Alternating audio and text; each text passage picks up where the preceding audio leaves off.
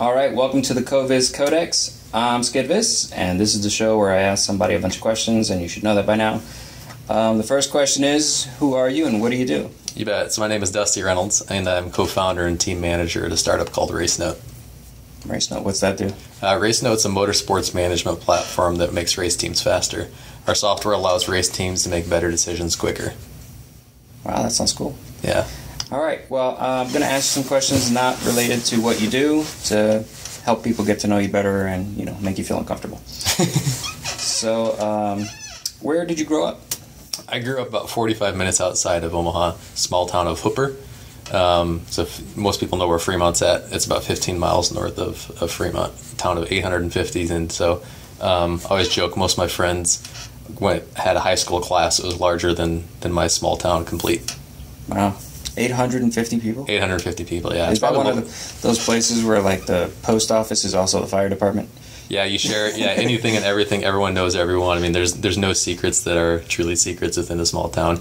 Great place to raise a family, just not a place that has the assets and things that I would want to live in right now. But it was a, it was a good place to grow up. Do they have pizza delivery?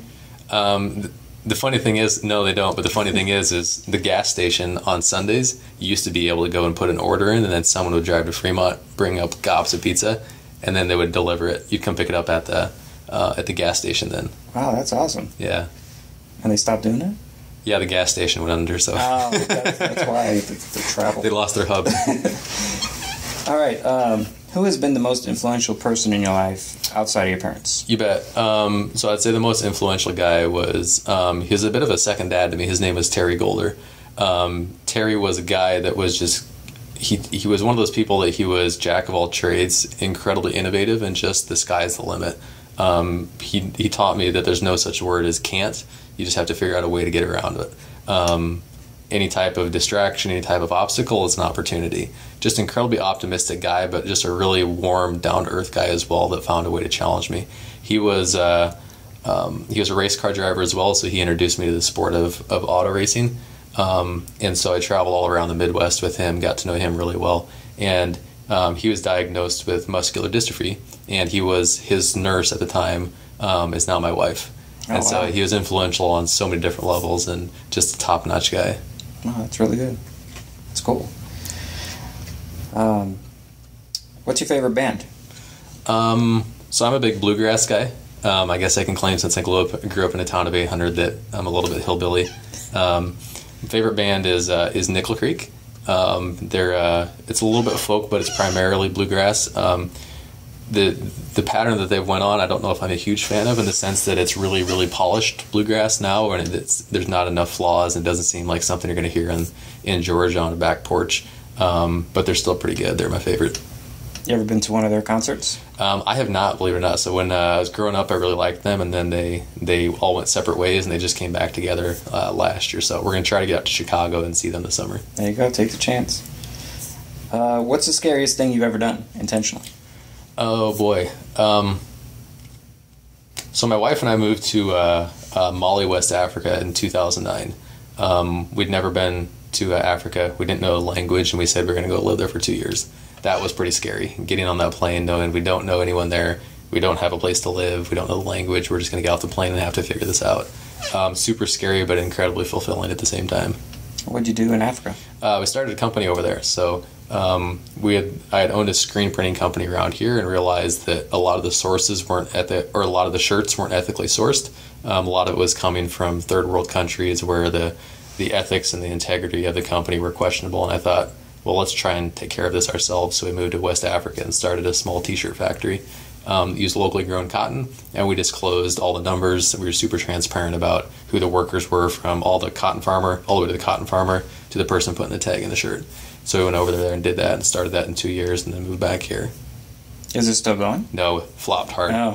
so we had a, um, you know, we started getting traction about every other month. We made money, um, and then that's when the government was overturned and Al Qaeda moved in. Um, and nowhere in our business plan did we have anything to say, here's what you do, when Al Qaeda moves in. So uh, we lost all tax incentives, and at that point, it was just crazy expensive. So uh, we limped along for about nine months after that happened, and then it just got to the point where we had a big order come in, and we had to say no to it. And we thought, if we have to say no to this, what could we say yes to? So And the answer to that was we didn't know, so we just we had to shut it down. And this would have been 2012. So um, we held tight for about two two and a half years, and then couldn't move past that. Oh, that sounds really scary. Probably the scariest thing I've heard yet. uh, no one else has mentioned Al Qaeda, so you're in the lead there. That's the nail in the coffin there. Yeah. Uh, what's one surprising thing about you, other than the, all the surprising stuff you've already mentioned? um, I was just as a hobby. There's uh, and not many people know about it. I really enjoy working with furniture, and I love making um, furniture out of uh, either reclaimed wood. And I know it's 100% buzzword right now, but just using old things and being able to manipulate and work them in a way that's something fresh and something new. So all the furniture in your house, you made it. Um, a good portion of it. So especially like our dining room, I, I don't do couches or anything like that because that's way beyond me. But um, done a handful of tables, um, doors, and things like that. We've redone. Those are those have been done. Um, most of it with wood that has some sort of um, emotional connection to um, to either me or, or my bride. Yeah. Well, that's cool. Do you do that like uh, for Christmas presents and stuff? You give people chairs or something? I do, but it's kind of gotten to the point now where I, I think I've oversaturated that. Where they, yeah, number one is when you do something like that and then they go buy a gift from Target or Walmart or whatever, they just feel like they've been trumped, and that's not the intention whatsoever. Right. Yeah. But I've done it so much now that they kind of expect it, and I just don't want to do that because it's a lot of work. Number one, number two, like I don't want to be, I don't want to go into everyone's house and see like, oh, that's all my furniture. It just doesn't make sense. Right. Uh, do you have a favorite movie or a favorite book? Um, so favorite movie. Um, it's old. It's cheesy. Uh, Newsies. I, I love musicals. Um, I'm a big music fan. I absolutely love um, musicals. Newsies is one of my favorites. Um, then uh, Top Gun is probably up there as well. So I don't know that I've ever graduated from the 80s or 90s. I still like that music, and uh, a lot of the movies from back then I really like as well. So Newsies is up there, um, but then uh, Top Gun also. Cool. Um, favorite book? Um, I read a lot. I don't know that I have necessarily one that I always go back to. Um, Founder's Dilemmas, like that's one that's that's good for me, but that's more not necessarily read to enjoy. It's just necessarily it's one of those things to, to learn. A handbook. Yeah, one of the things that uh, we did uh, at the company and it's been really helpful for us is each employee gets cash at the beginning of the month to go buy books, and then the last Wednesday of the month we have to go through and teach what we've learned that past month. Oh wow. And that's been really good. So that's got me back into the, the habit of reading and make sure it's not just something that's for leisure, but it's something that I'm I'm getting back into that just mindset of always learning. Um, but there's nothing I can say like I, it's, it's my go-to book. There's a lot that said like you said a handbook where you kind of refer to it and go back and forth with it. That's a really cool idea. Thanks. Yeah. Did you come up with that? Um, I think my co-founder did Kevin. Any Barry, yeah, Kevin Barry. That's awesome. Um, speaking of musicals, uh, a little while ago, uh, do you, I own the domain sharkjets.com. Shark Jets? Yeah. Any idea what musical that's from? I don't know. West Side Story. Oh, sure, yeah. Yeah. uh, yeah, I'm surprised no one's come knocking on your door for that one. Right? Yeah. That's surprising. And it's dot .com as well? Yeah. Wow. It's a really cool one. I just, uh, I, I like musicals too, and was- Yeah. the domain was available, so I grabbed it for no reason at all. That's how you know you're a true techie, right? Yeah. uh, if you could instantly master a new skill, what would it be? Uh, playing the piano. Absolutely playing the piano. So I played a little bit as a kid, and then um, I have zero patience. If I don't pick something up really quickly, I just let it go. And so um, I played a little bit of piano, and then I didn't get that mastered. So I tried guitar, I didn't get that mastered, and I've got all these. I could say I'm a novice at a lot of different things, but I absolutely love piano. My son, who's two years old, loves to sit and listen to piano, and so I would love to be able to say that that's a way that we can bond on a deeper level. And um, I've contemplated going back for piano lessons, but I just don't have the time to commit to it right now. Are you going to put him through piano lessons? If he chooses to do that, yeah, I think I don't know what the right age is. I have no idea, but um, he loves to sit at the piano right now, and uh, we've got an old piano in our house. He loves to sit there and, and play on it, but it's obviously not what we would call music. It's more noise. right. That's cool. Yeah, I've always wanted to learn to play the piano too. Um, do you karaoke? um, poorly.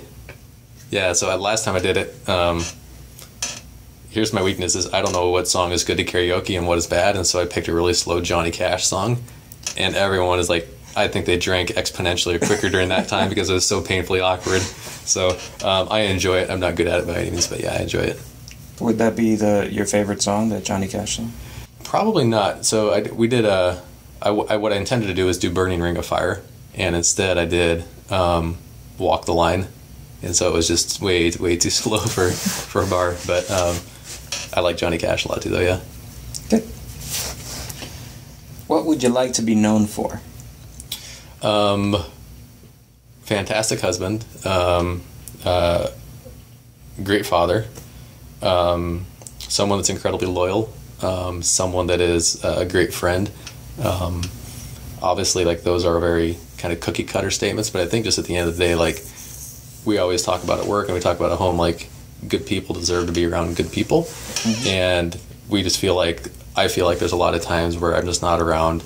Um, I don't feel like I'm always the best person that I can be, and I want people to me when they see me like that is one of the best human beings out there. So at the end of the day, I want people to say like that's a fantastic person. I need to be around him. Wow, that's deep. Reminds of Deep Thoughts by by Jack Handey Jack on Saturday Night Live. yeah, that's that's really cool. Um, very uh, yeah. Uh, what is your favorite party game? It could be a board game or a card game or a drinking game. Whatever. Um, have you heard of Mexican Train?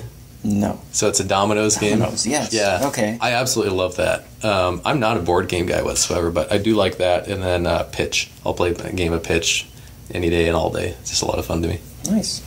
Yeah, I have dominoes. Uh, one of the, when when I started the co-working space, I thought like that's like my childhood memory. We used to play dominoes all the time. Mm-hmm. So when I got the co-working space, the first thing I bought was like the box of dominoes. And like, oh, that's awesome. Dominoes here all the time, and I've never played it here. Um, how would your friends describe you? Um, I think they would describe me as um, someone that's willing to have their back and um, someone that's loyal to them. I think they would also describe me as someone that's willing to get my hands dirty and regardless of situation, I'll be available. I think they'd also just describe me as a bit scatterbrained. Um, I tend to be one that has ideas and one is to have fun creating those ideas. And what I've realized is I'm a, a lot of my friends are executors, so they'll look at that and be like, "All right, well, let's we can't follow what Dusty's talking about." But if work needs to get done, like we know that he'll still be there. He's just not going to understand like the nitty gritty, fine detailed stuff.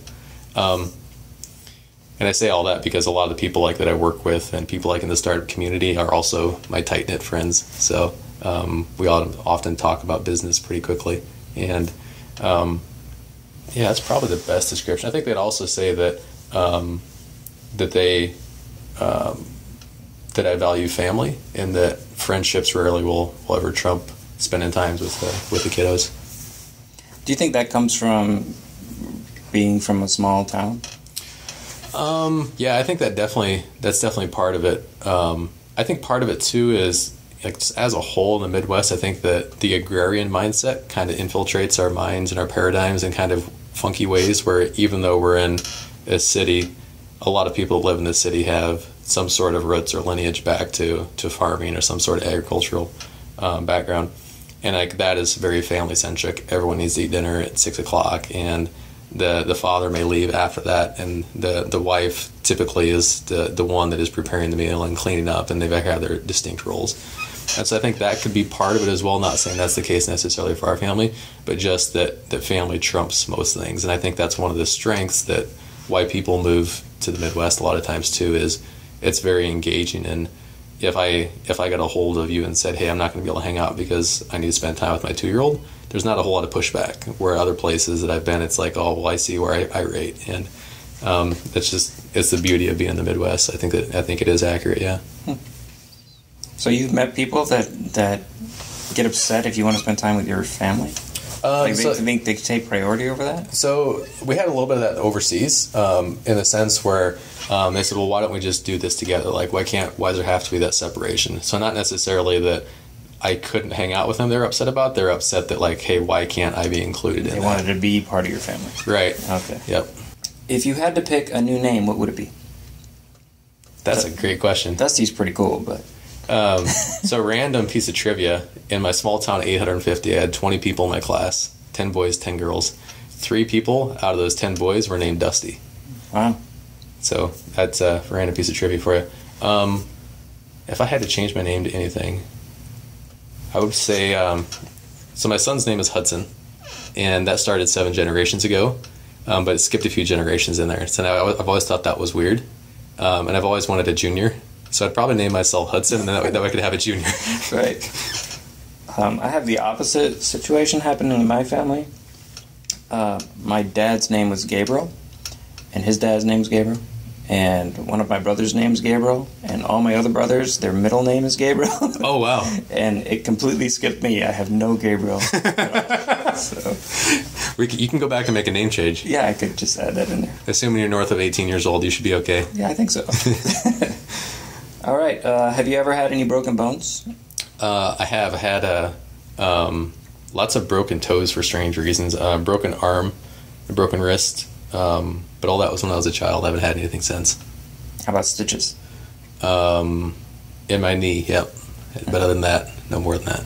Do you, uh, with your RaceNote, do you spend a lot of time uh, clearly on on the track, and do you hang out with the pit crews or anything? Yeah, we do. Um, so customer validate or market validation via customer interviews is something that we keep near and dear to our hearts, and we're really fortunate because our market congregates on weekends. So instead of us having to jump on the phone, we can go to racetrack and talk to multiple customers or prospective customers. So last year, what we did is we bought a 14 year old 40 uh, foot RV and we traveled the country going from racetrack to racetrack. We put on about 10,000 miles, a little bit north of that, um, in four months. And just went from racetrack to racetrack and talked to all these people. Um, and that was great. And so you're talking with drivers and pit crews at all different levels, from folks that are, you know, that may spend 500 bucks a year racing, all the way to the NASCAR level. Just going and interviewing and getting to know these folks a lot better. Cool. All right. So the last question is: uh, Do you have anything to pitch? You bet. So um, right now, um, with with RaceNote, and I can go a little bit deeper as to what what the product actually does. What the product does is it allows teams to make better decisions quicker. And so if you look at the the way that they're logging all their settings in their car, they're traditionally doing that paper and pen. Now they can do it on our app, and based upon that, they can see some trends and analytics as to how to make better decisions to improve their program. Also, it keeps track of what they have for um, what they keep track of um, for parts usage. So we'll be able to give them an indication. Say you're going to have a part that's going to be going out here soon because we have that knowledge from some of the manufacturers. Um, so we have that at the basic level all the way to the NASCAR level, where it's more of an enterprise level solution that lets them manage their entire program. So messaging, all those different types of things is incorporated in the product. Um, so one of the things we're always trying to look at is say, as we get into each different sector and each different class of racing, we always want to be able to find people that are really champions of our product. And we like to find people locally around Omaha. What we've learned around Omaha or even Nebraska, what we found is if we can find someone that we can sit down with and get to know with, um, we can get a lot of valuable expertise from them. So the pitch really is if we can find anyone that's a race car driver or has family that's a race car driver or is involved with the team, like those are people we want to sit down and do breakfast or dinner with and just get to know them at a bit deeper level because that's really helped shape our product into what it is. Do you, is it any kind of racing in particular, or all? Um, circle track right now primarily, but we're starting to expand and look in, uh, on our roadmap and say where we're getting drag racing, boat racing, motocross, whatever it may be. What we like to do is just build out a file for each class. So when we're ready to pull the, the trigger on that, we've got all that information in place. So virtually anything long term, short term circle track though. Well, that's cool. And where can they get more information? Racenote.com? Yeah, go to racenote.com. They can always email me. It's just dusty at racenote. Original, I know. Um, yeah, check on there or uh, Facebook or Twitter, obviously, as well. Cool. All right. Thanks a lot, Dusty, for being on the show. And thanks, everyone, for watching and listening. Thanks for watching the CoVis Codex. I'm Skid Viz, and I hope you enjoy watching this show as much as I enjoy making it. If you'd like to see more episodes like this, please subscribe to the YouTube channel and help spread the word by liking and sharing on Twitter and Facebook. Also, I'm always looking for new questions and guest ideas, so please feel free to post your suggestions in the comment section. Thanks again. Peace out.